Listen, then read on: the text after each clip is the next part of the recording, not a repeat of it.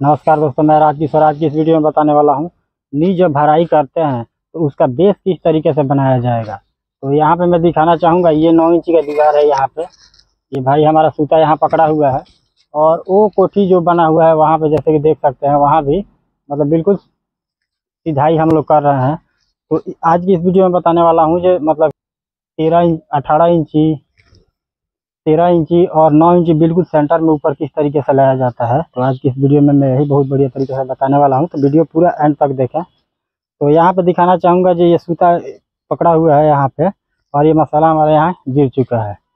और नी खोदाई करके और अच्छी तरीके से इसमें रोड़ी गड़का डाल के और अच्छी तरीके से कुटाई किए हैं मजबूती के लिए। तो यहाँ पे सबसे पहले मसाला को फैला लेंगे यहाँ पे।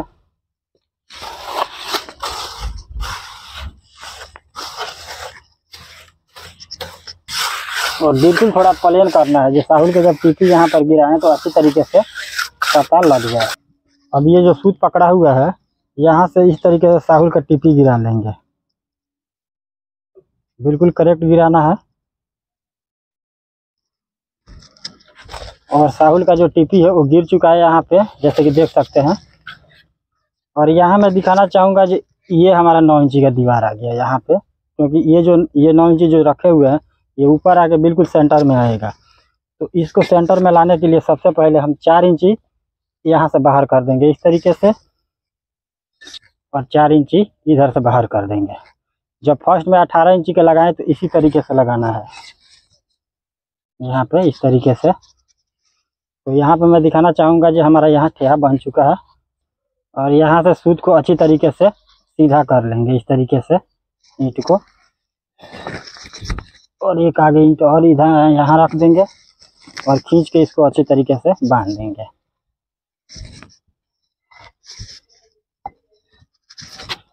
और फिर इसी तरीके से पूरा हम आगे लगाते जाएँगे। इसके ऊपर मैं बताना चाहूँगा, जब फिर तेरह इंची, अठारह इंची का एक और आधा किस तरीके से लगाएँगे, क्योंकि यहाँ पर दो अठारह, दो तेरह, उसके बाद में नौ लगाना है। तो मैं यहाँ दिखाना चाहूँगा, जैसे कि देख सकते हैं, अठारह इंची पहले हम नीचे किस तरीके से लगाए थे? चार इंची मतलब हमारा नौ इंची यहाँ है और चार इंची इधर और चार इंची इधर। बाहर किए हुए थे बेस बनाने के लिए। मतलब पूरा यहाँ से वहाँ तक हम तो जैसे कि देख सकते हैं, हम इसी तरीके से लगाए हुए हैं। और दूसरी पारी में किस तरीके से इसका जोड़ काटने के लिए लगाते हैं? तो बिल्कुल अठारह इंची जो ये दीवार है, इसके ऊपर बिल्कुल अठारह इंची ही मसाला बिछाना है, बिल्कुल। जैसे कि देख सकते हैं मैं किस तरीके से बिछा रहा हूँ।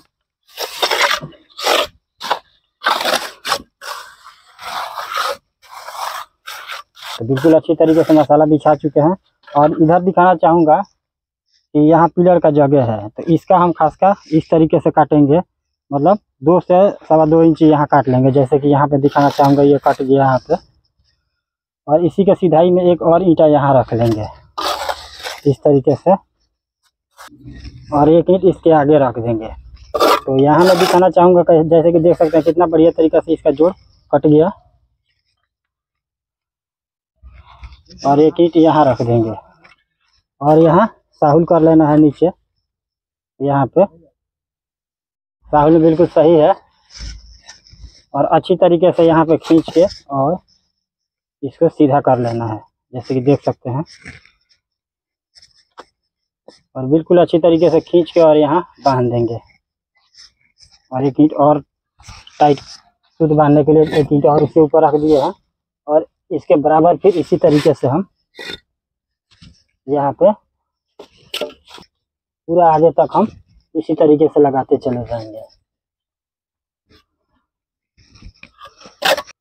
तो अठारह इंची इस प्रकार से लगाना है और इसके ऊपर दो तेरह का और सेंटर में नौ इंची किस तरीके से लगाएँगे वो भी मैं बहुत बढ़िया तरीके से बताऊँगा। तो यहाँ पे मैं दिखाना चाहूँगा, अठारह इंची का हम इस तरीके से लगाए थे, यानी कि हम दो अठारह का हम लगा चुके हैं। अब इसके ऊपर हम तेरह का लगाते हैं। बिल्कुल अच्छी तरीके से मसाले को बिछा लेंगे अच्छी तरीके से।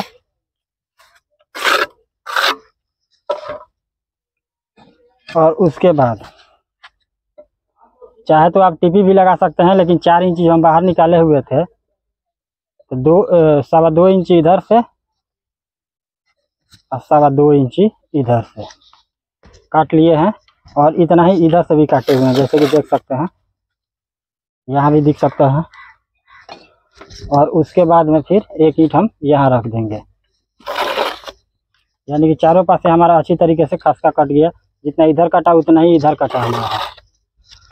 और उसके बाद यहाँ पे हम सूत मिला के अच्छी तरीके से सीधा कर लेंगे इस तरीके से।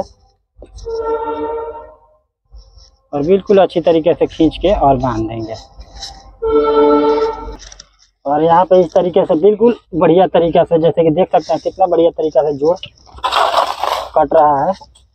एक भी जोड़ पे जोड़ नहीं है। तो दोस्तों, आप लोगों को भी इसी तरीके से करना है। मतलब पूरा यहाँ से वहाँ तक हम इसी तरीके से लगाते जाएँगे। तो यहाँ में, यहाँ मैं दिखाना चाहूँगा, जैसे कि चार इंची इधर था और नौ इंची यहाँ हमारा। इस तरीके से मतलब पूरा यहाँ से लेकर वहाँ तक हम लगाए हुए हैं। तो इसके ऊपर हम फिर इस, ये तेरह इंची का जोड़ किस तरीके से काटते हैं? तो दीवार के ऊपर बिल्कुल अच्छी तरीके से मसाले को तेरह इंची दीवार लगा रहे हैं। इसको कई आदमी चौदह इंची की दीवार बोलते हैं।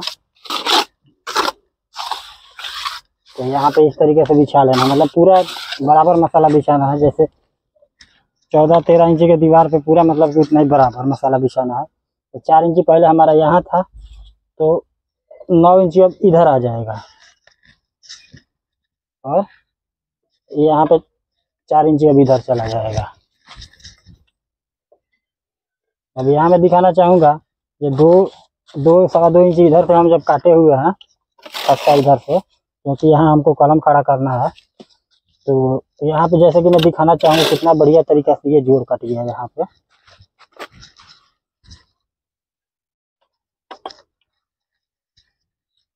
और मैं दिखाना चाहूँगा कितना बढ़िया तरीका से ठेहा रेडी हो चुका है।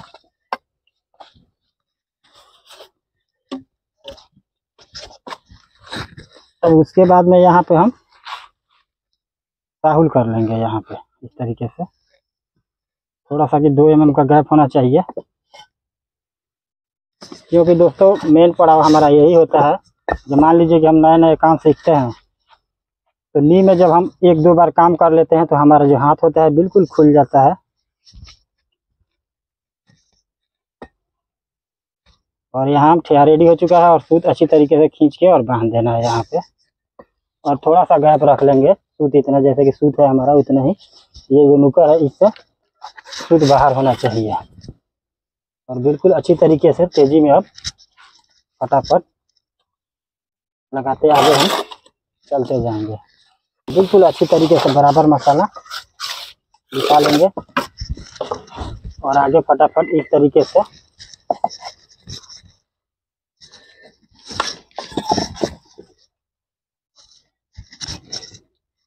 तेज़ी में लगाते हुए आगे हम बढ़ते जाएँगे।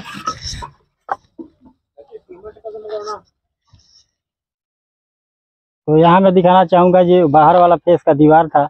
ये नौ इंची इसको सेंटर में करने के लिए, वो वहाँ पर जैसे कि देख सकते हैं, वहाँ भी किए हुए हैं।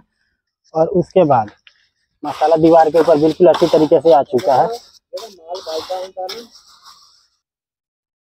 और बिल्कुल अच्छी तरीके से मसाला बिछा लिए हैं।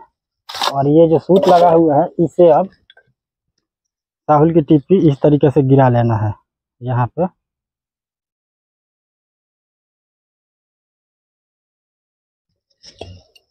ये आया हमारा निशान। तो यहाँ पे इस तरीके से यहाँ रख देंगे ईंट। तो मैं दिखाना चाहूँगा कितना बढ़िया तरीका से।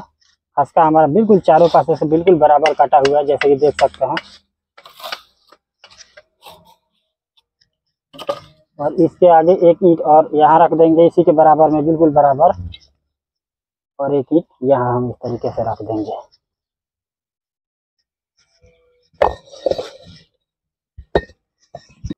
और उसके बाद में बिल्कुल अच्छी तरीके से सूत मिला के और जो इधर उधर ईंट है, इसको बिल्कुल सही करके और खींच के सूत बाँध देंगे यहाँ पे।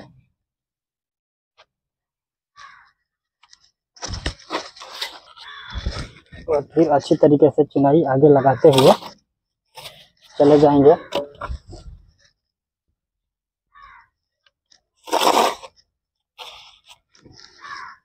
तो ऐसे ही दोस्तों जो नहीं होता है, उसका बेस बनाया जाता है। तो वीडियो पसंद आए तो लाइक और सब्सक्राइब